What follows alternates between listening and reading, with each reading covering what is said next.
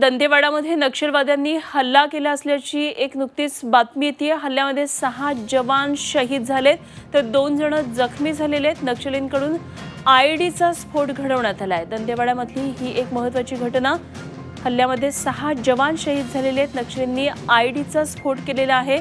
तर दोन जवान जखमी झाल्याचं कळतंय. दंतेवाड्यामध्ये नक्षलवाद्यांनी हल्ला केला आहे खोऱ्यामध्ये नक्षलवाद्यांच्या हालचाली गेल्या काही दिवसांमध्ये वाढलेल्या आहेत. आणि आज दंतेवाड्यातला हा हल्ला. नक्षलींनी आय डीचा स्फोट घडवून आणला आणि यामध्ये सहा जवान शहीद झाल्याची बातमी कळतीये. दोन जण जखमी झालेले आहेत. दंतेवाडामध्ये नक्षलवाद्यांनी अशा प्रकारे हल्ला केला आणि हल्ल्यात सहा जवान शहीद झालेत.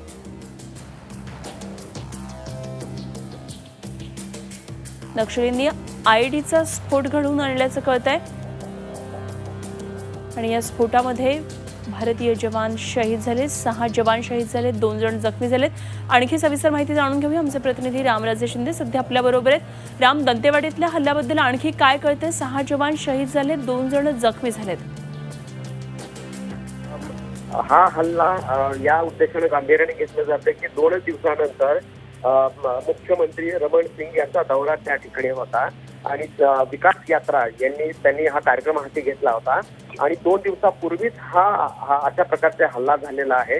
विशेष म्हणजे की मुख्यमंत्री येणार असल्यामुळं काही पथकाची पाहणी सुरू होती. आणि त्यामुळं गाड्या चालल्या होत्या रस्त्यावरून चालल्या होत्या. आणि रस्त्यामध्येच आयईडी नावाचं स्फोटक जे आहे ते दडवून ठेवलं होतं लपवून ठेवलं होतं. त्यावरूनच ही संपूर्ण गाडी जाताना त्याच्यामध्ये सहा जण सहा जण शहीद झालेले आहेत आपले जवान.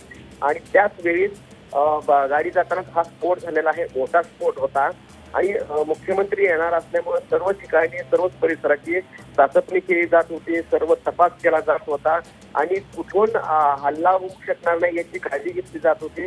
आणि असं असतानाच हा मोठा जो आहे हल्ला तो आपल्याला पाहायला मिळालेला आहे. आणि त्यामुळं अधिक दक्षता त्या ठिकाणी ठेवण्यात आलेली आहे. दोनच दिवसांनी मुख्यमंत्र्यांचा दौरा आहे. अशा वेळी दौरा रद्द केला जातोय. का दौरा चालू ठेवला जाईल आणि त्या ठिकाणी कडक बंदोबस्त वाढेल? याच्याकडे सरकार कोणती भूमिका घेते कोणता निर्णय घेते हे पाहणं गरजेचं आहे. हं, हं.